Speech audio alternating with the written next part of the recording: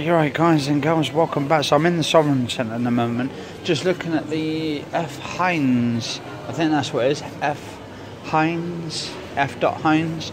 It's a little sort of jewellery shop. They sell like watches and all that kind of stuff. Looking at some of the little cartoon stuff they've got in the windows here, like little sort of Disney characters and all that. That's pretty cool. And then they've got like Stitch from Lilo and Stitch and all that. That's pretty cool.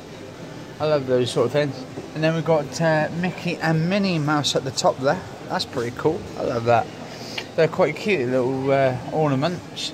And then we've got like bigger ones of uh, Mickey Mouse and Minnie Mouse.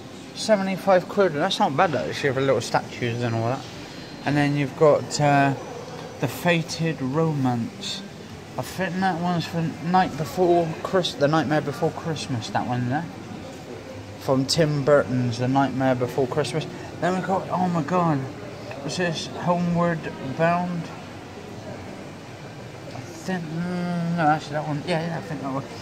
Snow White and the Seven Dwarfs just there, look. Yeah, that's pretty cool, that.